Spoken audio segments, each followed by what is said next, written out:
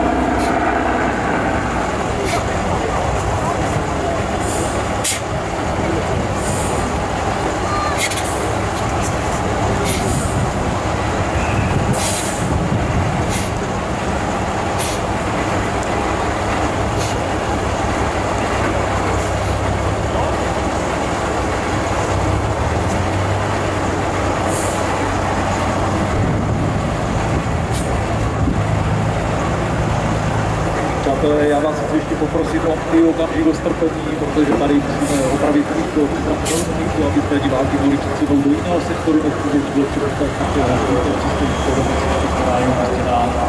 prostě. Takže cestou dolů, dolů se můžete zastavit za nějakou pětničkou třeba Děkujeme vám za to, děkujeme také všem, kteří už přispěli.